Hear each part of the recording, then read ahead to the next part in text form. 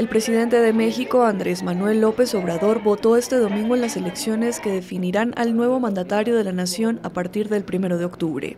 Tras su voto, fue breve en sus declaraciones diciendo únicamente, ánimo. López Obrador no puede ser reelegido ya que lo impide la Constitución mexicana, pero apuesta por el triunfo de la oficialista Claudia Sheinbaum.